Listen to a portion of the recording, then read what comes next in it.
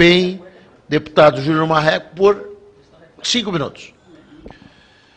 Presidente Marum, eu fiquei com a chave para fechar, né? Está todo mundo cansado aqui, já querendo ir para casa. Mas eu não poderia deixar de falar um pouco sobre isso. E amanhã, claro, vou externar mais ainda depois que eu tiver contextualizado aquilo que eu solicitei ao relator também de mudanças. Mas, assim como Carimbão falou aqui, eu também votei contra o impeachment. O senhor sabe disso. E naquela época que a gente estava no governo, apoiando o governo Dilma, já se falava em reforma da Previdência, já se falava-se em terceirização e já se falava-se em melhoria na legislação trabalhista. Então, essa novidade aqui que estamos fazendo, reformando alguma coisa, e a, o, nesse momento a Previdência, não é nada novo. É uma necessidade de qualquer governo que estiver à frente do Brasil, porque a Previdência é um problema não só do mundo, e como nós fazemos parte do mundo, é um problema do Brasil. E nós estamos aqui enfrentando esse problema. E é claro que as discussões vão existir e a necessidade de encontrar um ponto de equilíbrio, ela é real.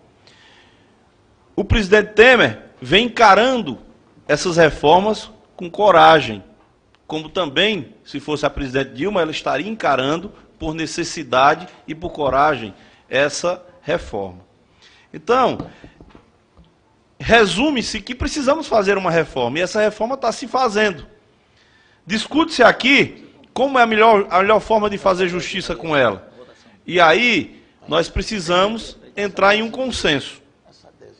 Vejo aqui, discordo de algumas coisas que é importante ressaltar, como, por exemplo, essa regra de transição.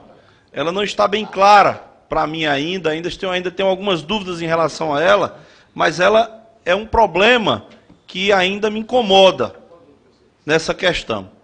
Vejo também aqui, como um ponto importante, a questão do trabalhador rural.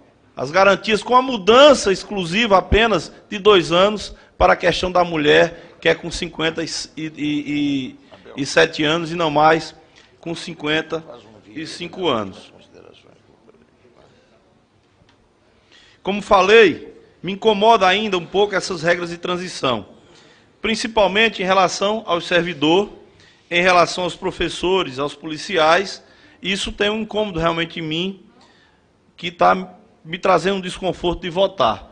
Mas eu entendo que o relator vai trabalhar amanhã até o último momento. Vamos tentar melhorar esse texto, vamos tentar lutar para que haja uma melhoria, mas, resumidamente, meu caro presidente Marum, essa reforma ela é necessária e não podemos ser demagogos com a sociedade brasileira.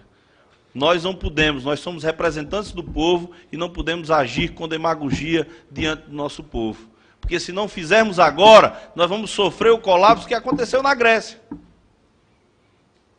A Grécia hoje tem consequências gravíssimas com seus, com seus aposentados em função do que se deixou de se fazer não tiveram a coragem de enfrentar no momento certo. E hoje nós estamos enfrentando isso de forma tardia.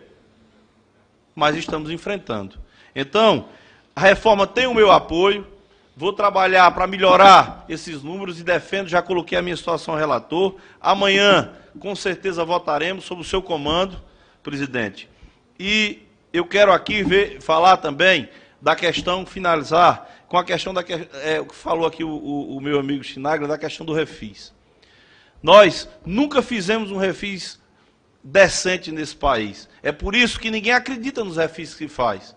Porque nunca houve, uma, nunca, nunca se trouxe uma realidade, um refis em que se pudesse pagar, que tivesse condições. E se eram só regras, joga aí e você correria, corria lá, fazia o refis para poder tirar uma certidão e se beneficiar com alguma, uma certidão do INSS para poder participar de alguma licitação ou receber algum recurso.